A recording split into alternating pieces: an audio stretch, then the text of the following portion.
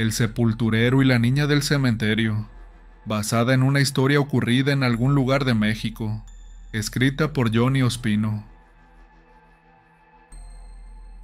Muchos consideraban mi empleo como un trabajo muy agotador, y es cierto, tanto física como mentalmente, pero lo hacía porque en parte lo sentía como un deber, algo para lo que fui escogido por el destino, o tal vez por Dios. Sin embargo, nunca me imaginé que pronto descubriría una maldición que me acompañaría para siempre. Espero que las palabras sean suficientes para describir lo que he vivido, lo que vivo, y tal vez lo que viviré por el resto de mi vida. He conocido la felicidad, pero también el dolor y sufrimiento, justo donde me encuentro sumergido mientras escribo esta historia. Espero que en algún momento Dios pueda perdonarme y al momento de mi muerte permitirme la entrada al reino de los cielos. No quisiera decir mi nombre porque me avergüenza que la gente me reconozca después de esto. Para aquel entonces, apenas llevaba unos cuantos meses trabajando como sepulturero en el cementerio más grande de la ciudad. Ese trabajo lo conseguí después de que mi padre falleciera, el cual también se dedicaba a eso. De hecho, en honor a él fue que me dieron el puesto. Aparte, sentí que yo había nacido para eso. No puedo describir a detalle cómo es que tenía casi la certeza de ello. Tal vez un sexto sentido me lo hizo saber. Sea como sea, comencé a trabajar ahí, y me volví muy empático con las personas que iban a enterrar a sus seres queridos, sumidos en un dolor que solo aquel que lo ha experimentado podía comprender, el cual era mi caso. La paga era muy buena, a menudo recibía bonos gracias a la buena relación que mi padre tenía con el alcalde de la ciudad. Además, no era necesario que durmiera en el cementerio. Yo gozaba de muchos beneficios. No cuidaba el lugar por las noches, pero sí lo mantenía presentable, o más bien impecable. Tenía días libres muy a menudo, o aquellos en donde solo trabajaba un par de horas, y después me devolvía para la casa. Vivía con mi esposa y mi hija de tres años. Eran mi mundo entero. Residíamos en la casa que heredé de mi padre. Mamá había fallecido cuando yo era pequeño. Conservé muy pocos recuerdos de ella, pero el amor que sigo sintiendo es inmenso e incomparable. Le agradezco a los cielos por haberme dado un papá que se hizo cargo de mí y me dio una crianza excelente. Muchos no tenían eso de su progenitor. Me consideraba afortunado en ese sentido. Quiero mencionar que a pesar de hacer mi trabajo con mucho compromiso, en verdad era doloroso experimentar el dolor de la gente muchos días a la semana.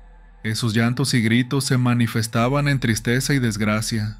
Muchos le echaban la culpa a Dios, sin saber que la muerte hace parte del ciclo de la vida. Tardé meses en acostumbrarme y poder hacerme fuerte para no llorar cada que veía escenas como esa. Algunos amigos que tenían trabajos similares me daban consejos y todo eso, en especial aquellos que tenían contacto con cuerpos, como embalsamadores. De hecho, mi cuñado era doctor, y me decía que en los hospitales se vivía algo muy parecido cuando el paciente fallecía. Si era difícil enterrarlo, no me quiero imaginar estar ahí al momento en el que dan la noticia de la muerte de alguien, a quien amaste con firmeza. De todos modos, evitaba mucho hablar de mi trabajo. La verdad no me gustaba. Nunca me avergonzó. Después de todo era algo que alguien debía hacer, y gracias a ello mantenía a mi familia sin que nada les faltara. Quise hablar un poco sobre mi vida, mi familia y mi trabajo, para poder llegar al origen de lo que yo considero como el peor capítulo de mi vida, donde lo paranormal se hizo presente con intenciones de quedarse para siempre. Al principio creí que era un don, pero después decidí definirlo como una maldición. Comenzó aquel día en que sepulté a una niña que tenía siete años. Falleció debido a que se soltó de la mano de su madre y cruzó la calle corriendo. Un motorizado venía a toda velocidad y no tuvo tiempo de maniobrar, así que la arrolló de frente. Él quedó gravemente herido ya que después de golpear con ella, terminó impactando con un vehículo estacionado. Ella, por desgracia, perdió la vida al instante, ni siquiera agonizó. El día en que la sepultaron sentí como si mi corazón se hubiese encogido. Había sido una desgracia total, dejando una tristeza increíble en toda su familia. La sorpresa me llegó cuando estaba alistando todo para irme a casa. Me sentía algo cansado y quería llegar rápido para abrazar a mi pequeña y cenar en familia. Fue entonces cuando vi a una niña caminar entre las tumbas y perderse entre todo el lugar. Yo sabía que mis ojos no me habían jugado una broma de mal gusto, así que de inmediato me fui tras ella, y la encontré de pie sobre la tumba de la pequeña que sepulté ese mismo día. Lo extraordinario fue que al acercarme me di cuenta de que era la misma. No encontré diferencia alguna. De hecho, ella misma me lo confirmó, diciéndome que ojalá no hubiera soltado la mano de su madre.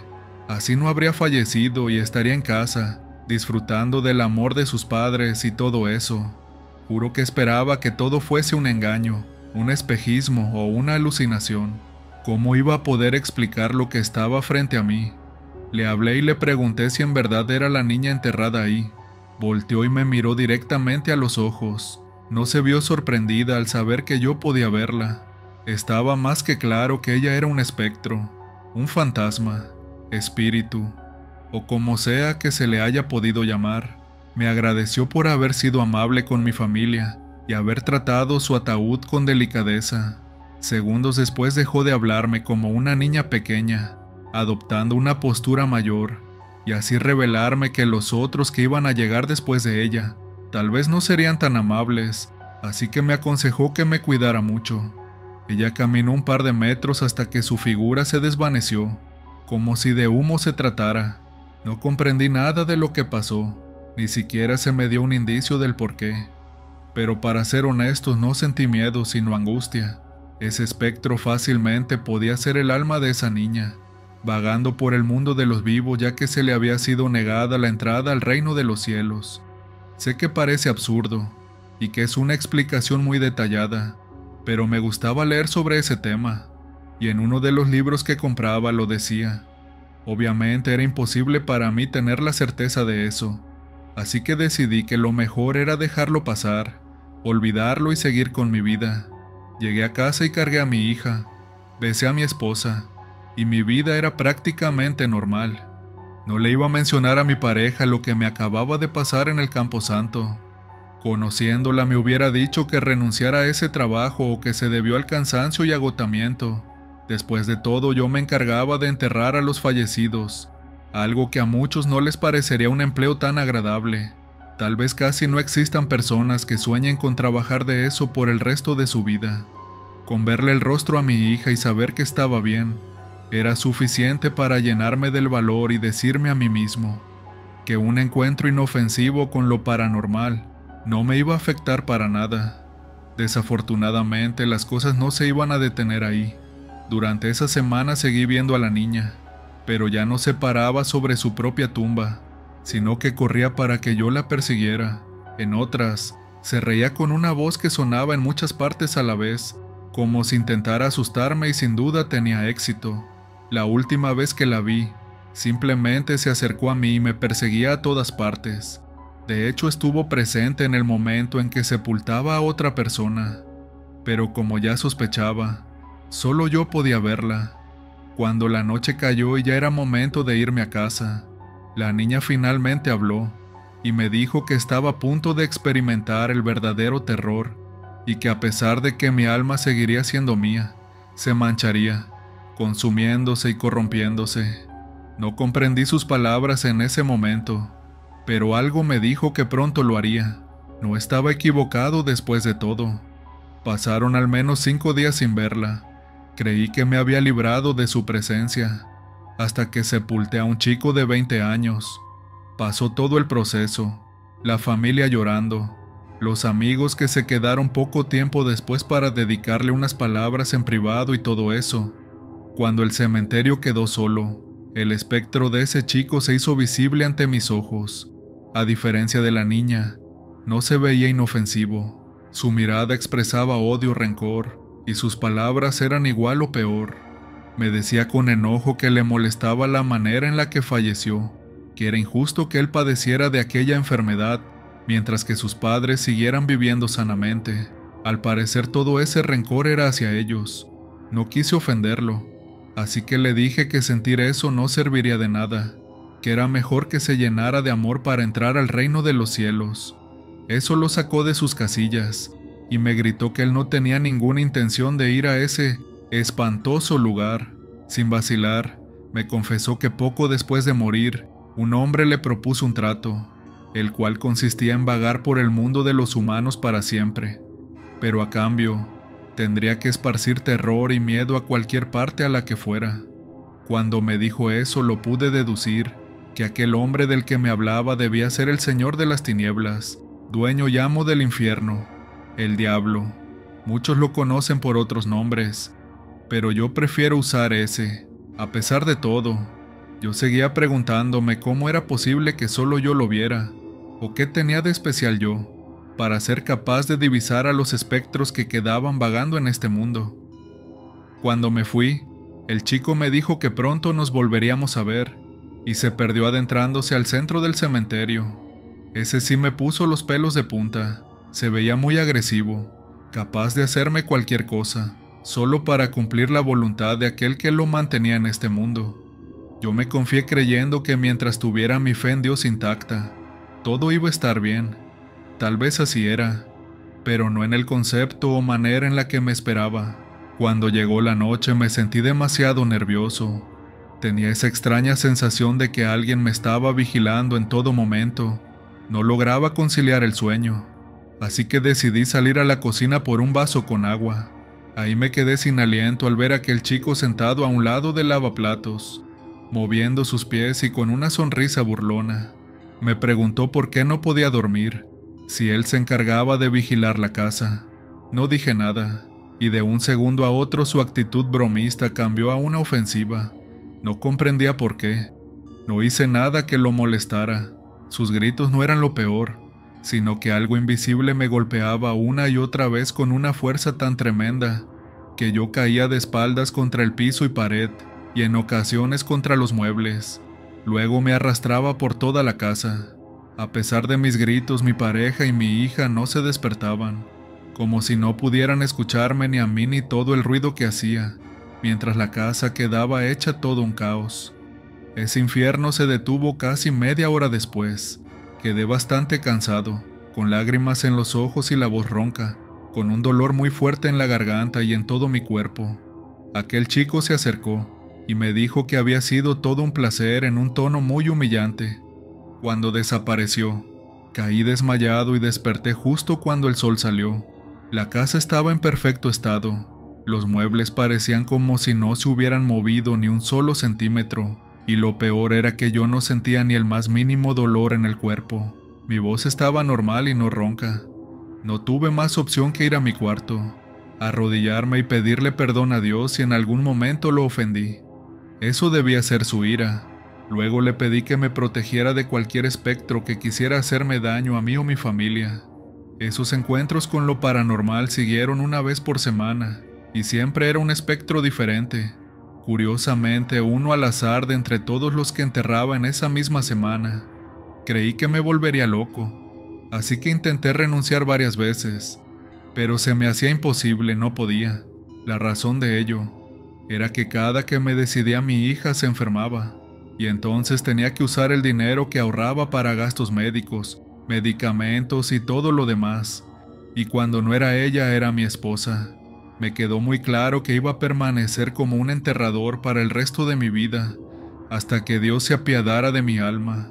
Una vez a la semana tenía noches aterradoras, donde si no salía de mi cuarto, entonces algo invisible abría la puerta, me agarraba por el pie y me arrastraba hasta sacarme, llevarme a la sala y ahí lastimarme mientras el espectro de la persona se burlaba de mí diciéndome cosas realmente humillantes que me hacían llorar y suplicar para que se detuvieran. En muchas ocasiones me lastimaron con los cuchillos de la cocina, pero al caer desmayado y despertar, ya no tenía ni heridas ni dolor ni nada. Todo rastro de la presencia del espectro desaparecía. Quisiera decir que con el tiempo me fui acostumbrando a eso, pero sería una mentira. De hecho, cuando la noche llegaba ya yo comenzaba a llorar apenas mi esposa caía dormida. No logro recordar exactamente la última vez en que logré conciliar el sueño de una manera tranquila y relajada. A pesar de que había al menos seis noches a la semana en donde los espectros paranormales no se aparecían, yo quedé con una especie de trauma que me hacía creer que eso ocurriría todos los días. Ya no era feliz con mi familia porque tenía el miedo constante a que algo les pudiera suceder a ellos. Nunca busqué ayuda por temor a hacer enojar a quien sabe quién, y entonces empeorar todas las cosas. Yo solo me encomendaba a Dios, pero esas oraciones parecían vacías, como si nadie las escuchara, hasta que finalmente uno de los espectros me dijo que esa noche no iba a ser lastimado con dolor físico, sino mental. Estando ahí en la sala escuché los gritos de mi pequeña hija, sin importar los intentos que hice por llegar a su cuarto. No lo lograba. Aquella entidad demoníaca me arrastraba sin siquiera poder verla, impidiéndome acercarme a mi hija hasta que los gritos cesaron. Fue entonces cuando pude entrar a su cuarto y darme cuenta de que ya no estaba ahí había desaparecido. El espectro me dijo que durante una semana no iba a recibir noticias de ella, y así fue. A pesar de que mi esposa y yo hicimos el reporte a la policía, y de inmediato se armó una investigación y búsqueda para dar con su paradero, todo fue en vano. Veía a mi amada llorar a cada hora, ya yo ni siquiera mostraba emociones, ni cuando sepultaba los cuerpos de otras personas. Una semana después, en mi propia casa se apareció el espectro de una mujer que había sepultado dos días antes. Ella fue quien me dijo que si yo quería volver a tener a mi hija en mis brazos, debía arrebatarle la vida a mi esposa y sepultarla en aquel cementerio donde trabajaba. No podía creer que en serio me estuvieran pidiendo eso, pero no mentía. Esa misma noche escuché gritos de mi hija por toda la casa, donde me pedía que por favor la salvara, que no la dejara sola y que tenía miedo.